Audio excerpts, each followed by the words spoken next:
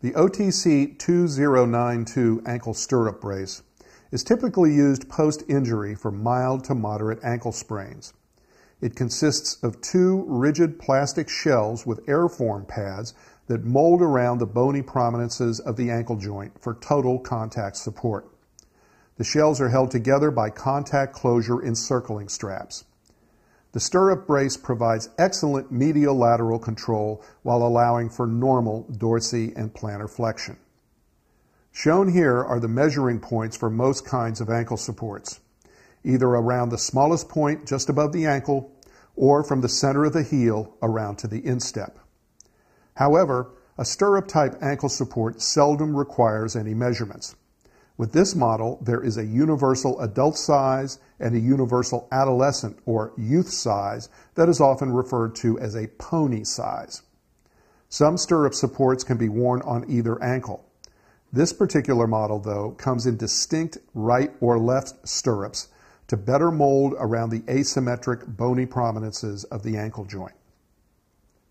Proper fitting procedure is to select the appropriate left or right ankle stirrup releasing the two encircling straps from the sides of the medial and lateral shells.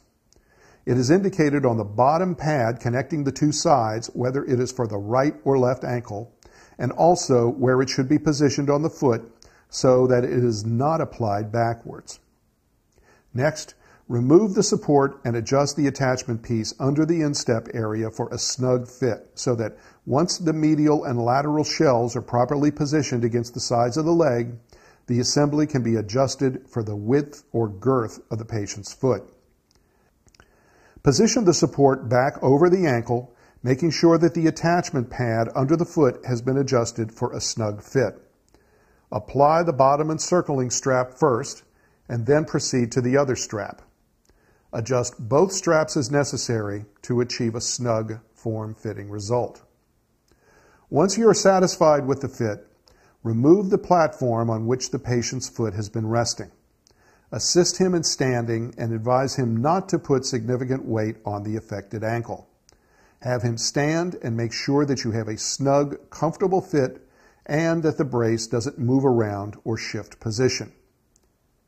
Once the fitting is complete, be sure to go over with the patient the cleaning and care instructions that are found on the back panel of the product carton.